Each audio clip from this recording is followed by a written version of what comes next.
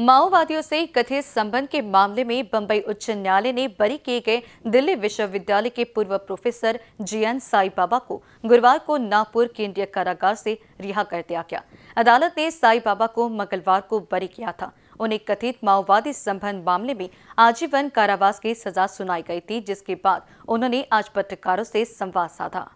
इस समय जीएन साई बाबा ने उनके न्याय यात्रा में सहयोगी सभी अधिवक्ताओं का धन्यवाद किया, जहाँ उन्होंने बताया कि जब 10 साल पहले कथित मामले में उन्हें सजा सुनाई गई थी तो वह पोलियो की समस्या को छोड़कर किसी भी शारीरिक व्याधि से ग्रस्त नहीं थी। किंतु जब उन्हें सजा हुई तो कारागृह के अंदर उचित स्वास्थ्य सुविधा न होने के कारण हृदय विकार, स्वादुपिंड विकार आदि गंभीर बीमारियों और स्वास्थ्य समस्याओं की चपेट में आ चुके हैं। बहरहाल ज्ञात हो कि महाराष्ट्र के गढ़चिरौली ज़िले की एक अधीनस्थ अदालत के दोषी ठहराए जाने के बाद साई बाबा 2017 से यहाँ जेल में बंद थे। इससे पहले वह 2014 से 2016 तक इस जेल में थे और बाद में उन्हें जमानत मिल गई थी। शारीरिक अक्षमता के कारण व्हील चेयर का इस्तेमाल करने वाले साई बाबा ने जेल से बाहर आने के बाद संवाददाताओं से कहा कि मेरा स्वास्थ्य बहुत खराब है, मैं बात नहीं कर सकता। मुझे पहले इलाज करना होगा और उसके बाद ही मैं बात कर पाऊँगा। लेकिन आज उन्होंने अपने 10 सालों के अनुभव और न्याय पाने के संघर्ष को बयां किया, जहाँ उन्होंने विशेष रूप से बचाव पक्ष के वकील,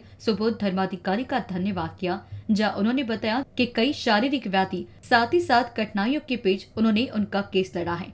इस वक्त बोलते हुए उन्होंने नागपुर, मुंबई सभी वकीलों का धन्यवाद किया, जहाँ उन्होंने खुलासा किया कि मैं एक शिक्षक था, लेकिन इस मामले ने मुझे समाज और मेरे पेशे से दूर कर दिया। यह खेत भी उन्होंने ज़ाहिर किया है। साथ ही साथ उन्होंने आदिवासी संघर्ष के कुछ क्षणों को भी बयां किया।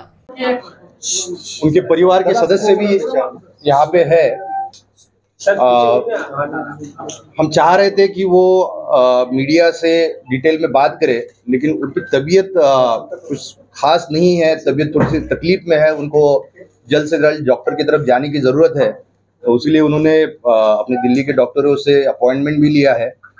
तो फिर भी जो आप लोगों की उत्सुकता थी और हमारा भी एक कर्तव्य था कि आप तक उनकी बात आपके माध्यम से जाए जनता तक।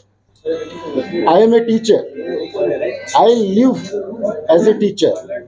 So my classroom is dear. I cannot live without teaching, without my classroom, without my teacher students. See, uh, I am. I have been in jail. I have little information of outside world. But one thing is there. One thing I can say: the question of tribals, the question of Dalits, and the question of minorities is the question that is in front of us more sharply today. Camera person Akhilesh Bharadwaj के साथ मनीष टेमरी की report